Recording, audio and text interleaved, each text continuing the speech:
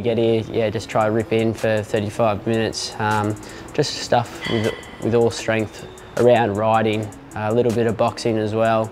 But um, yeah, lucky enough, one of my really good mates, Connor Wallace, who's um, who's here, he takes us through all these little um, little things with with boxing, and yeah, we try to develop little little uh, situations where it could um, transfer that to riding, whether that's stability through your core, trying to you know little weights to to to manage that the whipping style, and yeah, just just everything to work on balance and, and core strength. This will be the first thing you've done in a couple of weeks. well, jockeys are riding five, six times a week. It's very grueling on the body, so if they can develop strength in those areas to just get that longer lasting, I guess, longer lasting career, longer lasting longevity through their body, they can ride, you know, all year long instead of three, four months and then their body's cooked. I do a lot of training on, on the side myself, um, but I think it's good to have Brodie there to just encourage me to do a few extra sessions. Um, and then I think you get a little bit more out of it when you're training in a group. I think, you know, we're obviously all competitive, so we get in here and uh, we all go pretty hard. Did you train this morning as well? Beast. Obviously, he's um, been a jockey. He understands the weight and stuff. So, like, obviously, uh, when you've got a big day coming up race-wise, or um, if you've got a bit of weight to lose, or you're riding light, um, he knows how to manage that. Um, he knows when not to push too hard. Um, but the main thing is he knows that when we do need a hard session, he, he puts us to!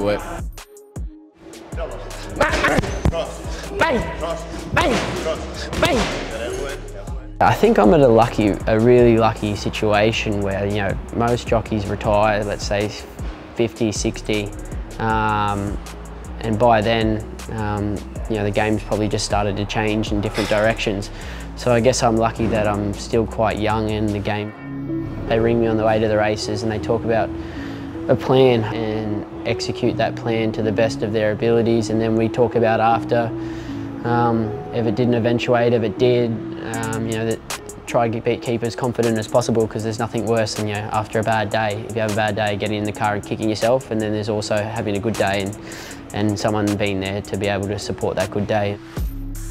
Really good just to have a second opinion in your corner. I think since joining Brodie, I, um, I've really turned a corner in just um, probably being a little bit more dedicated um, and probably really um, even though it's not a lot and it doesn't need to sort of be very hands-on, it's just little niggles that can really um, help you want to do better.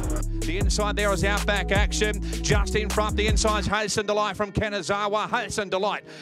Hasten Delights has just won it. Jag Guthmann-Chester for Peter Robl. I always had faith in myself that I had the ability to be in town, um, but as I said before, I was probably one of my, my worst own enemy. Um, I was just happy to be getting good rides, ride winners. Um, I didn't really care where I was riding the winners, but um, obviously I've been in town as an apprentice and won the premiership, and then obviously um, through my probably own doing, I ended up back at the provincials and probably just didn't strive hard enough to, to want to be better, and I was just took every day as it comes and just very, um, I'd say I was very laid back and casual. This season it's to really base myself in town um, and be getting good support and ride plenty of winners and try and try and set myself up to be in the top sort of 10 metro jockeys at the end of the season. Having these goals with Brodie to push me, um, I think it's just shown in the last six months that look we can be there, um, but we just got to put ourselves in a position and um, take every opportunity we can.